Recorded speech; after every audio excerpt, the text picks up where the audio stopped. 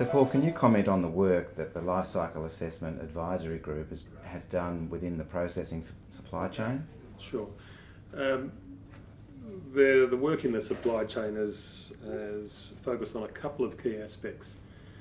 One, we've, we've conducted a high level review of all published data in this area.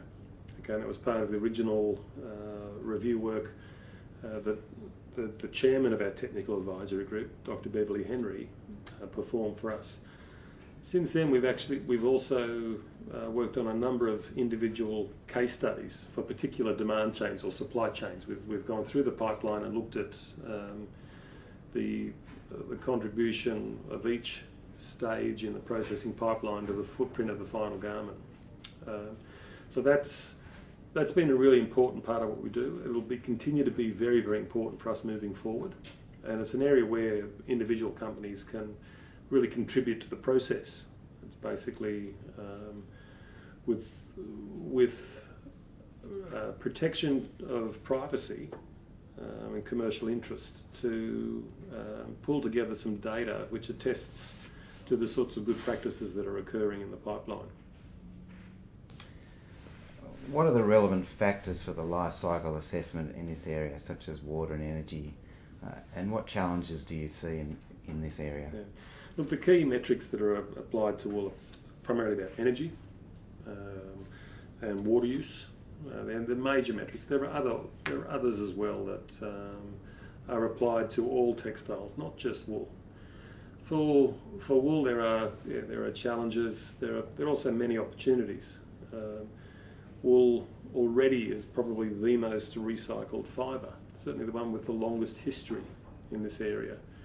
So a big part of our challenge is to actually tell the story, uh, to work with uh, companies who are, if you like, examples of uh, particular stages of the pipeline or particular parts of the pipeline we need to collect information on and communicate, and actually pull together the, the, the commercial data.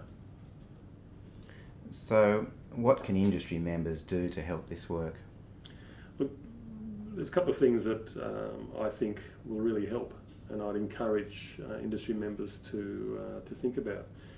One is to be aware of the process that we have underway. It's a it's a process with, which is sponsored by a number of the major uh, growing and processing uh, countries around the world.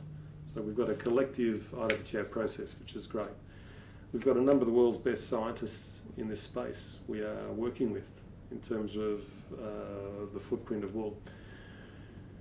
Then in terms of how they can uh, take part, there's particularly, there's, we're looking to work with companies on individual case studies, on uh, pulling together compelling examples of how wool is processed right the way through the pipeline um, to tell the story. Uh, so there's awareness but also participation. Um, this is an issue that the environmental credentials of wool is an issue that is not necessarily going to go away.